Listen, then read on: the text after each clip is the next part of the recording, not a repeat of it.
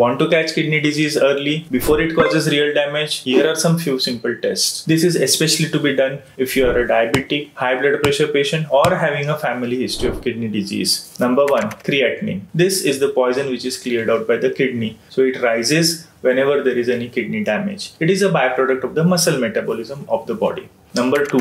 EGFR, estimated glomerular filtration rate. That is a calculation given in the reports of the laboratory and if it is below 60 then that is a red flag. It is calculated from the creatinine value but also accounts for the weight and body mass and the gender of the person. Number 3. BUN, blood urea nitrogen. This, if it is on the higher side, it indicates that your kidney is struggling to clear out the poisons from the body. Bonus test of urine routine. In this, you will know that there is proteinuria, hematuria, or any other thing which can help to find out kidney diseases. Another simple test is the UACR, urine albumin creatinine ratio. If it is on the higher side, that indicates that there is a protein filtration loss into the urine. So, don't wait for kidney problems to arise. Be sure that you don't have it by doing annual health checkups in which the blood urea nitrogen, creatinine, and urine routine is a part.